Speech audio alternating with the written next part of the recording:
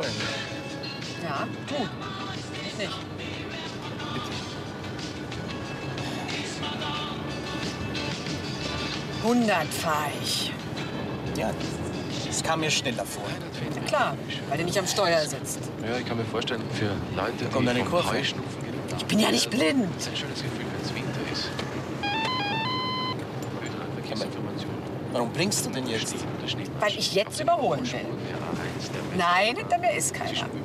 Ich habe nur nachgesehen. äh, Die Kinder schlafen ja. Du leider nicht. Auf der A13 der Brenner Autobahn, auf der A2 der Südautobahn. Bist du nicht müde?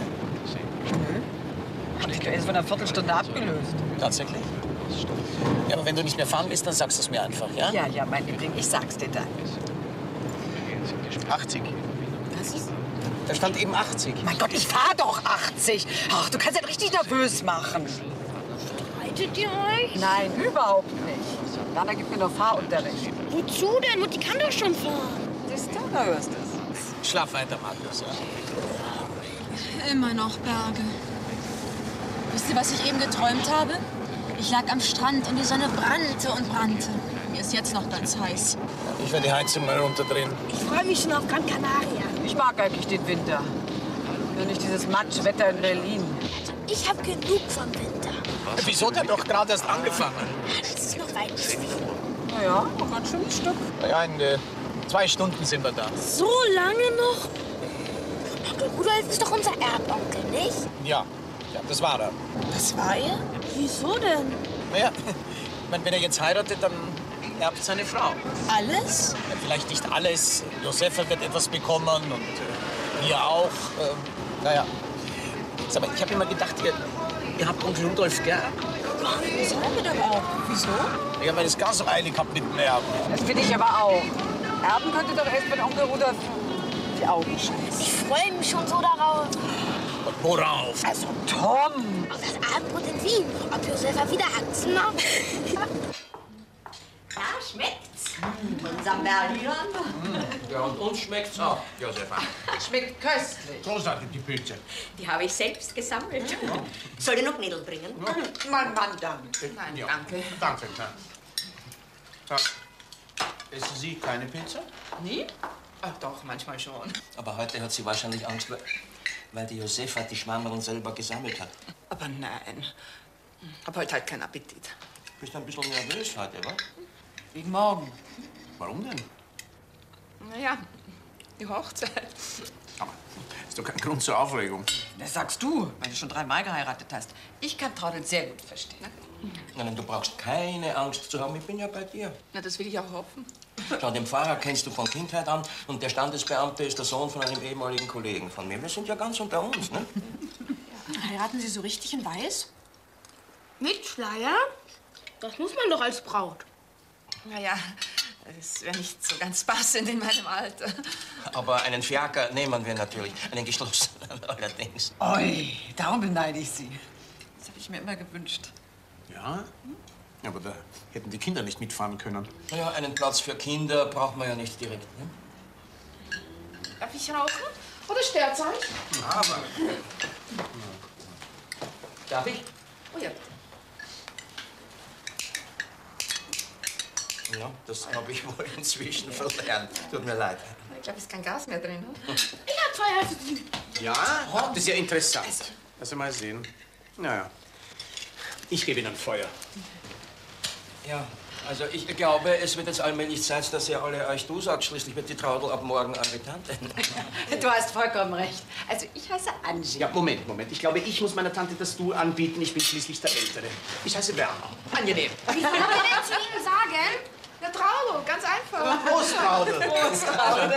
ihr könnt euch gar nicht vorstellen, wie froh wir sind, dass ihr gekommen seid. Und deshalb möchte ich euch auch eine Freude machen. Werner, du kennst doch meine Jagdhütte. Also Hütte ist gut. Das ist ein kleines Haus. Naja, jedenfalls, ich gehe ja jetzt schon seit Jahren nicht mehr auf die Jagd. Du hast mal richtig geschossen und getroffen? Naja, ab und zu schon. Aber jetzt ist die Jagdzeit natürlich für mich endgültig vorbei und da habe ich mir gedacht, dass äh, die Hütte für euch vielleicht günstiger wäre als für uns.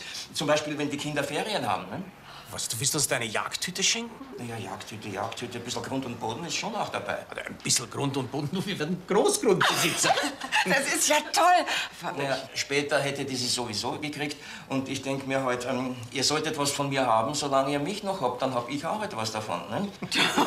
Natürlich nur, wenn ihr sie haben wollt. Vielleicht könnt ihr auf der Rückfahrt einmal vorbeischauen. Das ist kein großer Umweg. Oh ja. Wo liegt die denn? In Tirol. Wo ist das? Im Gebirge. Im Gebirge. Ja, Im Gebirge, die Gegend wird euch gefallen. Die Hütte liegt ganz hoch oben mit einem traumhaften Blick. Ja, und mit einer himmlischen Ruhe, weit und breit kein Mensch. Also wieder mal keine Action. Keine was, bitte? Action. Also ich glaube, heute kannst du die Kinder für nichts mehr begeistern. Die sind viel zu müde nach der langen Fahrt. Ja, also komisch, ich fühle mich heute frisch. Ja? Das ist aber schön. Ja?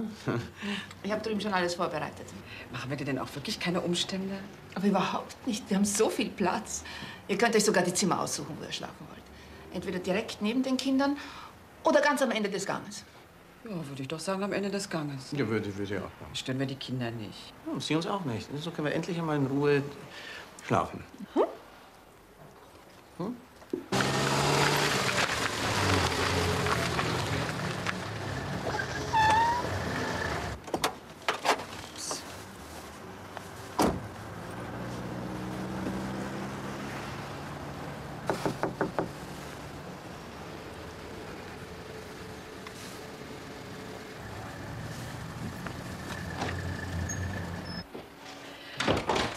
jetzt Gott sei Dank auch. So, was war denn? Wahrscheinlich zu viel gegessen. Naja, das ist Josephas Küche. Ich fand das Essen auch ziemlich scharf. Ach, das habe ich ja ganz vergessen. Ich wollte uns ja noch was zu trinken holen. Ach, Liebling, da du gerade stehst. Ja. Ich gehe schon, ja. Ach, ist das schön. Du hast recht, natürlich hätte ich es ihm sagen müssen. Aber wer weiß, wie er reagiert hätte. Hast du dich wegen mir versteckt oder wegen dem Kind? Nicht so laut. Warum schläft doch dem Rudolf seine Familie aus Berlin? Was geht mich dem seine Familie an? Jetzt geht's um meine Familie. Wolltest nicht zugeben, dass du schon Großmutter bist, wie? Dich auf. Verstehst du das nicht? Man will es ja sagen. Und dann schickt man es hinaus und dann ist der Zeitpunkt versäumt und dann geht's überhaupt nicht. Heute wollte ich sagen. Aber da war der Werner da und seine Familie. Wer ist denn das? Der Werner. Ohne Familie. Und wer sind Sie? Tone Löwinger. Mein Sohn. Du Claudia, hast du ein Mineralwasser für uns? Ja, ja, natürlich. Genau. Wieso denn? Hast du dem, dem Onkel Rudolf nichts von deinem Sohn gesagt? Ich hab's nicht über mich gebracht. Also, verstecken tue ich mich nicht. Ich sag's ihm. Noch vor der Kirche. Ja, soll ich ihm vielleicht... Nein, nein, nein, nein. Na, wenn er die Hochzeit platzen lässt. Na, dann hat er es nicht besser verdient. Ja, also, na, so einfach ist das nicht, junger Mann. Immerhin hat ihm Ihre Mutter etwas verschwiegen, äh, äh, was nicht ganz unwichtig ist, nicht wahr? Gute Nacht. Gute Nacht. Musstest du ausgerechnet heute kommen? Mein Gott, das hat ja gedauert. Danke, ich hab keinen Durst. Was? Warum bin ich dann hinuntergegangen? Weil du Durst hattest. Ich hab... Du hast doch gesagt, das Essen ist scharf. Äh, Ja. Wahrscheinlich fällt die ganze Hochzeit morgen sowieso ins Wasser. Sag mal, wovon redest du eigentlich? Der Onkel Rudolf wird Papa und weiß nichts davon. so viel Wein hast du doch gar nicht getrunken. Also wenn der das jetzt wüsste, der hat eine unruhige Nacht. Die wollte ich eigentlich mit dir erleben.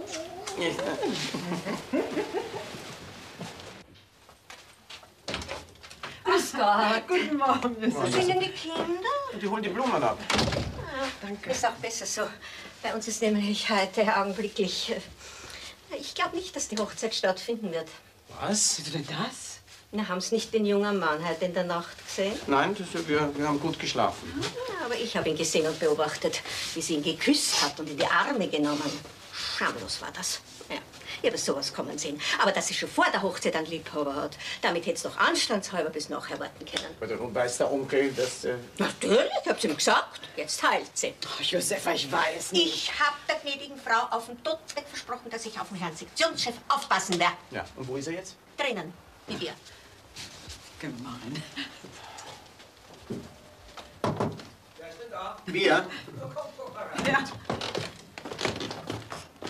Guten Morgen. Äh, habt ihr gut geschlafen? Oh ja. Ja, ja doch, äh, ganz gut. Danke. Dann muss ich euch eine Mietsteilung machen. Die Traudel hat nämlich eben ein Geständnis abgelegt. Stellt euch vor, die bringt einen Buben mit in die Ehe. Ach, das ist eine Überraschung.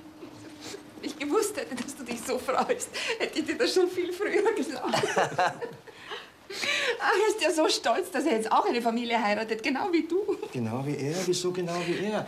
Du bist durch deine Ehe Ehemann und Vater geworden. Aber ich, ich werde durch meine Hochzeit Ehemann, Vater und Großvater.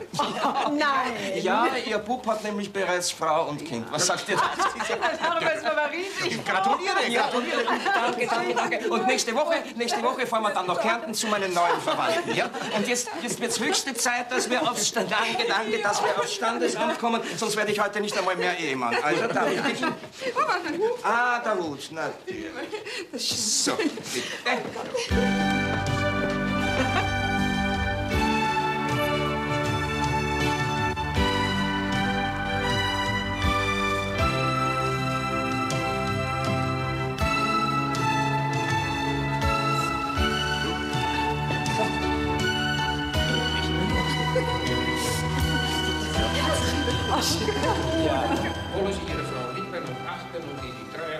Alle Tage Ihres Lebens bis der Tod Sie scheiden?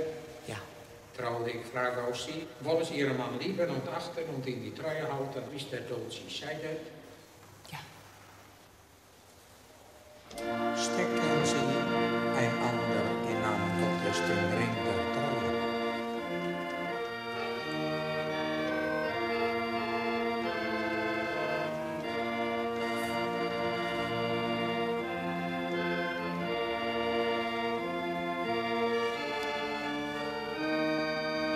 Reichen Sie einander die rechte Hand.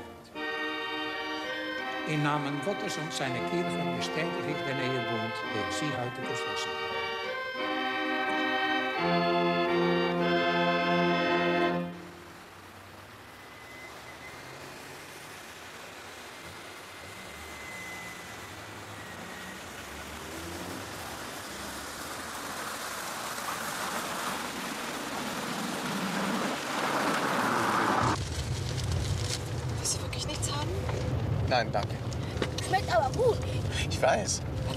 Überhaupt noch nichts gegessen. Also, da guck mal, wie eng meine Hose ist. Ich faste heute. Dass du das kannst? Ich bewundere dich. Ja, ich mich auch. Wie weit ist es denn noch? Also nicht mehr weit. Sagst du schon seit zwei Stunden. Dann müssen wir denn unbedingt zu der Hütte. Also wenn wir schon mal in der Nähe sind. In der Nähe ist gut. Und wegen kein Umweg. Da vorne ist sie schon. Die Hütte? Nein, die Abzweigung. Also wenn wir erst mal im Dorf sind, dann ist nur mein Katzensprung. Hört jetzt endlich auf rumzumosern. Guckt euch lieber die herrliche Landschaft an. Außerdem, in einer Woche liegen wir am Strand. Nur ein Glück. Werner, machen wir nachher eine Schneeballschlacht? Oh ja. Ja, wenn wir noch Zeit haben. Wir müssen ja gleich weiter.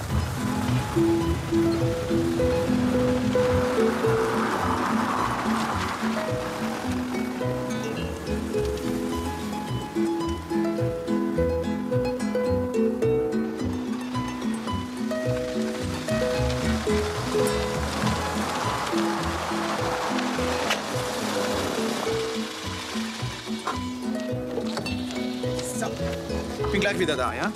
Ist aber hübsch hier. Ja, ganz hübsch. Guck mal, da kann man sich Skier leihen. Oh ja. Die auch Schlitten haben. Bestimmt.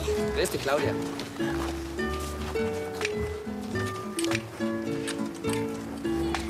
Warum grinst er denn so dämlich? Weiß ich doch nicht. Guck doch nicht so hin. Sonst denkt er noch, wir interessieren uns für ihn. Also ich bringe ihn gleich wieder. Etwa in einer Stunde, ja? Bleib nur so lange, wie du willst. Bei uns ist immer jemand zu Hause. Gut. Danke nochmal, gell? Servus. Ist das der Werner? Ja, natürlich ist er das. Grüß Gott, Frau Würden. Was, Sie sind immer noch... Immer noch im Amt, wolltest du sagen, stimmt, aber nicht mehr lang. Nett, dass du dich wieder mal anschauen lässt. Dann kannst du morgen gleich zu unserem Nein, kommen. leider nicht. Wir sind nur auf der Durchreise. Ja, das ist schade, unser Chor wird viel besser Ja, geworden. das ist kein Wunder, wenn ich nicht mehr mitsinge. Aber nein, du warst mein bester Ja, Sopran. na, lang ist her. Ich sehe, dass das eilig. Dann wünsche ich dir eine gute Fahrt für die Gott, Werner. Danke vielmals, Würden. Und gesund bleiben, gell? Jeden, was? Ja, also fast.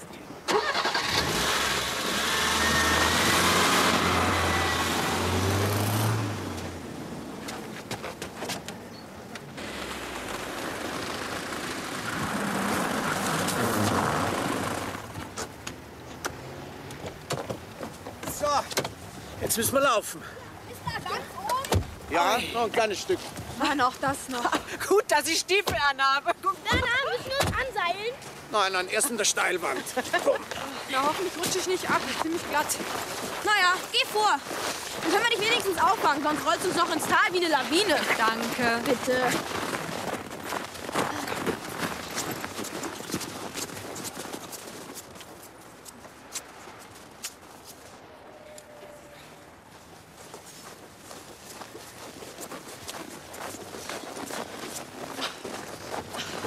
Werner, nicht so schnell.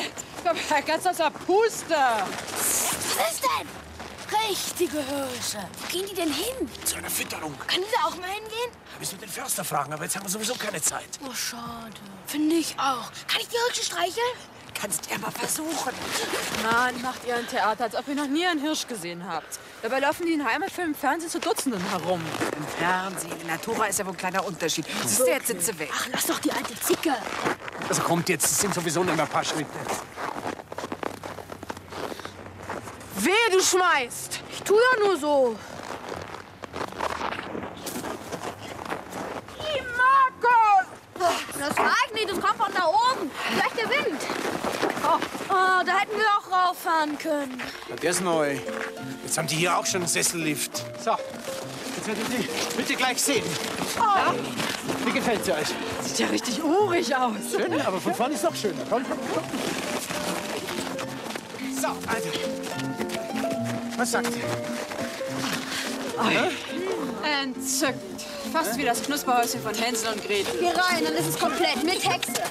So, Tom, Markus, ihr nehmt doch mal da hier ein Besen. Kommt, kehrt den Schnee an. Dann machen wir die Läden auf. Kalte Füße. Ein wenig wird mir auch ein bisschen kalt. Ja, Sie, müssen euch bewegen, Kinder. Ah, nimm mal so der Kopf, wenn man das Panorama ist Sehr schön macht ihr das. So, jetzt noch ein bisschen Holz. Was sollen wir denn damit? Unsere Damen frieren. Tü. Hier stinkt's. War ja auch schon lange keiner hier. Wo ist denn der Schalter? Was für ein Schalter? Fürs Licht. So kein elektrisches Licht, nur Petroleumlampen. Kein Strom? Wahrscheinlich nicht mal fließend Wasser. Doch, frisch von der Quelle. Ja, wenn die Leitung zugefroren ist. Schmelzen wir ganz einfach Schnee. Genau, mein Schatz, so machen wir das. Oder wir machen die Quelle mit dem Eispickel frei. Zurück zur Natur. Lass mal, ich mach das schon. Schön, dann mache ich jetzt ein bisschen kleines Holz für uns. Guck doch mal diese Kojen. Oh, ist das niedlich. Oh. Ach, Werner. Werner, eine Nacht. Nee, ja, gern. Komm weiter. Du, Angie, schau mal, ob das Wasser läuft. Da ist ein richtiger Wasserhahn. Ja, natürlich, einmal ist er nicht. Wir haben vor zehn Jahren eine Leitung von der Quelle heruntergelegt. So, so. Ja, mal unser Glück versuchen. Prima. Ja, na, geht schon. Das macht's aber prima. Können wir später auch mal? Ja, später. Jetzt hol mal den Hirschfänger, der muss gleich in der Tür hängen. Ist das ein großes Netz oder was? Ein großes Messer. Müssen ja Spandel machen. Was? Späne. Ja, Das Holz ist ja viel zu feucht. Das brennt uns nie an. So, danke. Gibt's kein Wasser? Nein, haben wir gedacht. Wird wahrscheinlich die Leitung zugefroren. Oi. Naja, weißt du was? Markus, versuchen wir mal jetzt mit diesem Holz Feuer zu machen. Ne? Gut? Tanja, bring einen Eimer. Schon. So kenne ich dich ja überhaupt nicht. Aber du gefällst mal, Jagersepp. Komm mal da. Kannst stolz sein auf deine Kinder.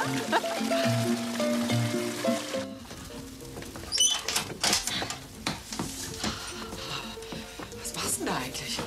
Trockenspülen.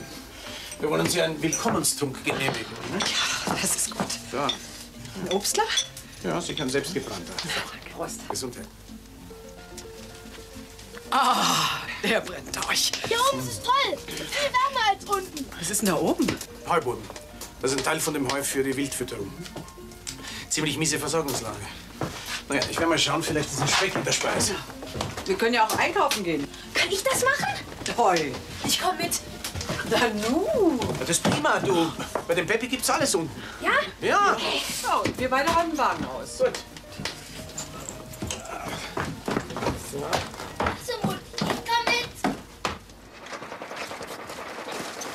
Soll ich euch die Sackschlange zum Auto bringen? Nein, danke. Das steht viel zu weit weg. Ja, eben deswegen. Das schaffen wir schon allein. Guck mal, Tanja, schick, ne?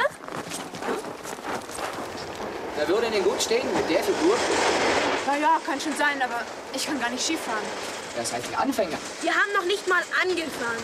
Das lernt man schnell. Das kommt ganz auf den Lehrer drauf an. Gibt's denn hier überhaupt einen? Ja, sogar ein Pfunding.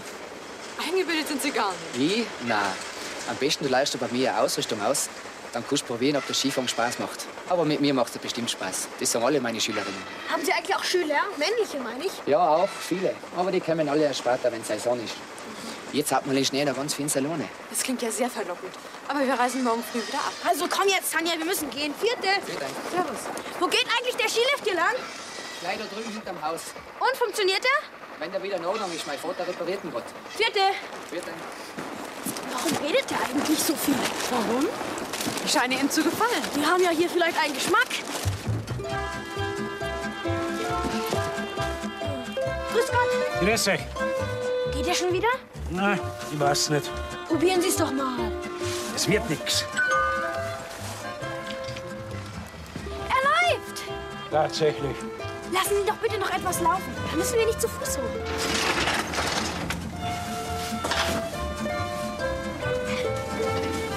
Wohin wolltest du? Zur Jagdhütte. Wohnen doch da. Da hinten? Die gehört uns jetzt. Ei, Haben wir gestern geerbt. Gottes Willen. Weil der Sektionschef nicht mehr unter uns? Ach, der ist in Wien. Hat gestern geheiratet. In seinem Alter? Warum nicht? Wir könnten doch auch noch heiraten. Ich? Äh, bloß nicht. Mir genügt völlig. Ach. So, und jetzt rauf mit euch. Los. Nein, das machst du nicht.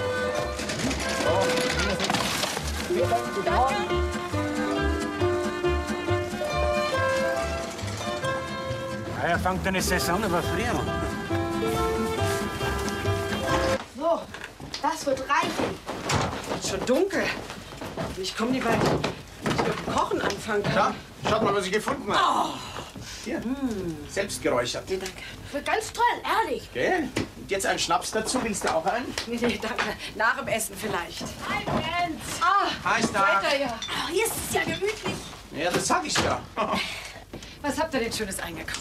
Alles, was du aufgeschrieben hast. Und dann noch ein paar Büchsen. Guck mal, das Etikett sieht doch so lecker aus. Dann hast du auch weniger Arbeit. Toll, Ravioli. Hm? Großeinkauf. Du kommst aber nach Geld zurück. Hier, drei Schilling. So viel? Du Mutti, ich habe ganz nasse Füße. Ich habe auch Schnee in die Schuhe bekommen. Zieht euch gleich trockene Strümpfe an. Eure Taschen liegen da drüben. Können wir denn unsere Sachen aufhängen? An so einem Geweide? Nein, da drüben sind Haken. Ach so. Hat Onkel Rudolf die alle geschossen? Ja, natürlich. Gar nichts vorstellen. Hast du auch mal geschossen? Ja, zweimal, aber nicht getroffen. Wo wir sind hin? Noch mal Holz holen. Aber das reicht doch hier. Was wollt ihr denn nur essen? Soll ich eine Büchse aufmachen? Lieber zwei. Ja, Mutti. Ich habe auch ganz vollen Hunger. Was? Ja, und wie kriegen wir die auf? Moment, Moment, ich mal. Warte schon.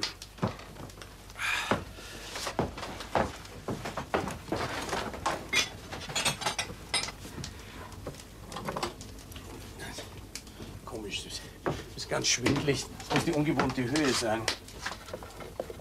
Oh je.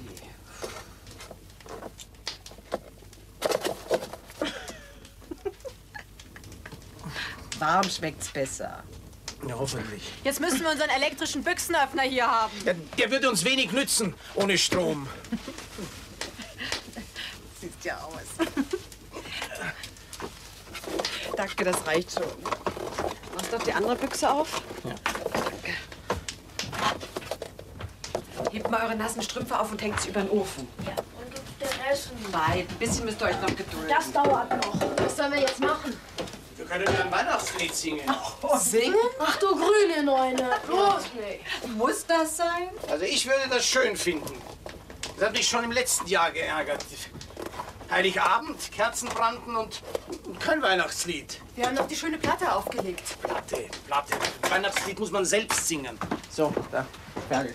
Aber wir singen auch jetzt ein Weihnachtslied, ja? O Tannenbaum. Ich gebe euch den Ton an.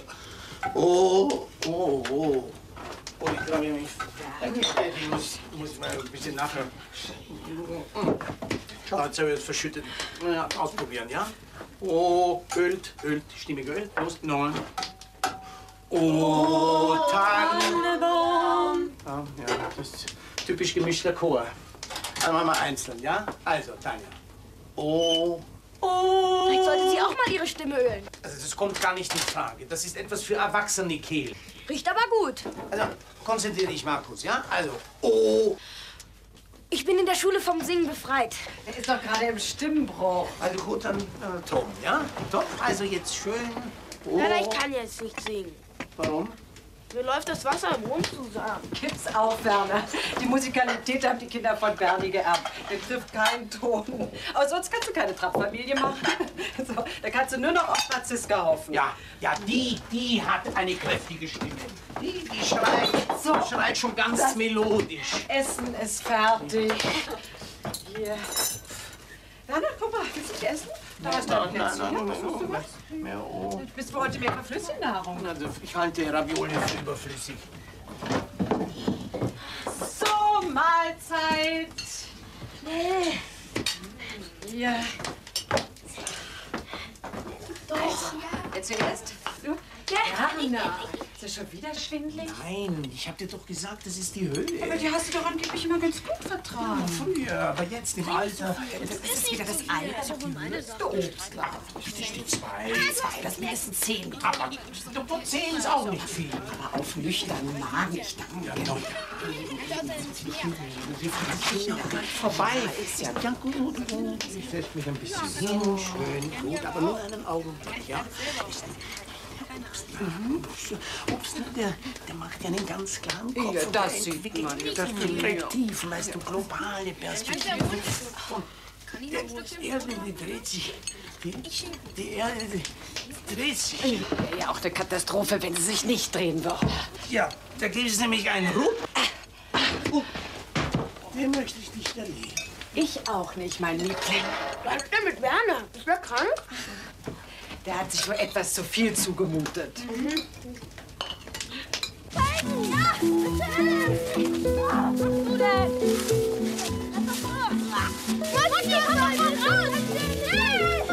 Ja? Was denn?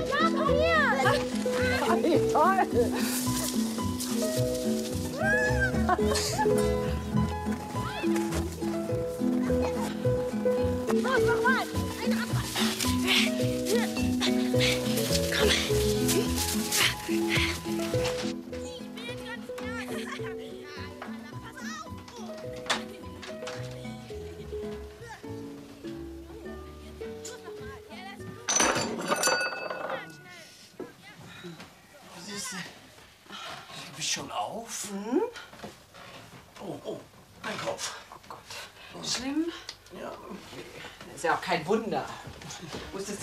Deine Stimme ölen. Die letzte Ölung, die hat dich dann geschafft. ja. Ach Gott, ja, der Obstler. Ja, das ist aber auch wie Öl runtergegangen. Du warst gestern Abend richtig süß. Ja, süßer als sonst. Weißt du, du kannst einen direkt animieren zum Reden. Ja. Haben die Kinder was bemerkt? Nein, die waren viel zu sehr mit dem Essen beschäftigt. Oh, Gott sei Dank. Aber wir müssen die Frau Hoffmann verständigen. Die erwartet uns spätestens heute Nachmittag in Berlin. Hab schon mit ihr telefoniert von der Post aus. Ist alles in Ordnung. Du warst schon im Dorf? Ja, sie bleibt noch einen Tag. Klar? Ja, wie, wie früh bist du aufgestanden? Gar nicht so früh. Weißt du, wie spät es ist? Hey, los, los, wir müssen los. Wir müssen los. Sind die Kinder schon auf? Guck doch mal aus dem Fenster. Ist das Tanja? Mhm. Sind im Unterricht. Schon seit zwei Stunden. Scheint ja viel Spaß zu haben am Skilaufen. Oder am Lehrer. So? Sieht aber auch nett aus, finde ich. Tanja. Nein, der Skilehrer. Das ist der Peppi. Aha. Mhm. Er hat vorhin gesagt, in einer Woche könnt ihr es ihr beibringen. Das Skilaufen. Ja, was denn sonst? Das weiß man bei Skilehrern nie. Die sind dafür bekannt. Oh, weiter, noch mal hoch. Ob sie das mit Absicht macht? Was? Ja, das Hinfallen. Ich glaube, das macht sie nur, damit der Peppi sie in die Arme nimmt. So raffiniert. Von wem hat sie das? Von mir nicht. Bin sehr sportlich. So, sag mal, meinst du, ob ich damit auch noch anfangen könnte? Mit dem Hinfallen? Nein. Kannst du eigentlich gut Skilaufen? Also immerhin so gut, dass ich es dir beibringen kann. Ich weiß nur nicht, ob wir ein gutes Skigelände haben auf Gran Canaria. Wohl kaum. Ach, Liebling. Hier müsste man Weihnachten feiern. Kommt man so richtig in Stimmung. Ja, das finde ich auch. Nein, jetzt nicht. Muss aufräumen, wenn wir weg wollen.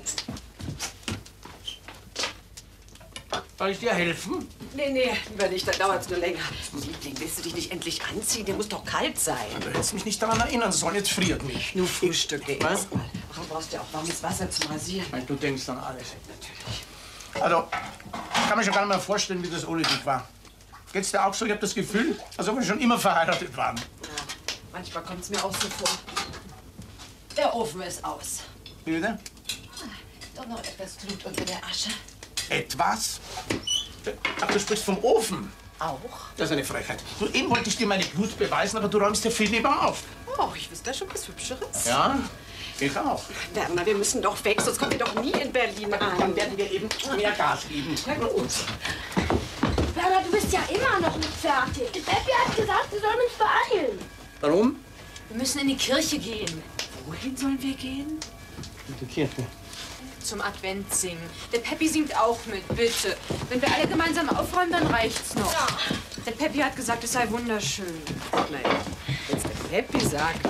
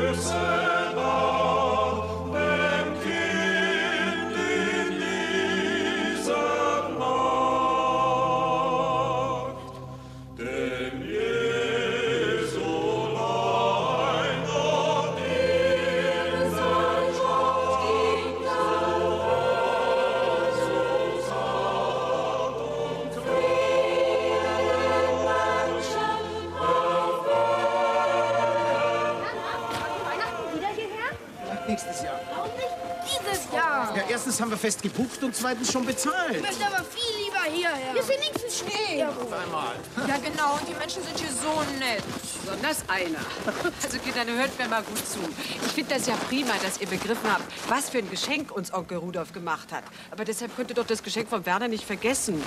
Und schließlich können wir nicht Tausende zum Fenster hinauswerfen. Kriegen wir unser Geld eigentlich zurück, wenn wir abbestellen? Na, also jetzt nicht mehr. Wenn man zu diesem Zeitpunkt vom Vertrag zurücktreten will, dann muss das schon einen besonderen Grund haben. Zum Beispiel Krankheit oder Unfall. Siehst du aus, ne? Aber Werner, der andere Vater, Welcher andere Vater? von dem wir die Zimmer in Gran Canaria haben, der durfte abbestellen, obwohl er sich nur ein Bein hat. Ja, also das habe ich sicher nicht vor. Jetzt fahren wir erst mal hin und dann werdet ihr sehen, wird uns allen gefallen, die Gran Canaria.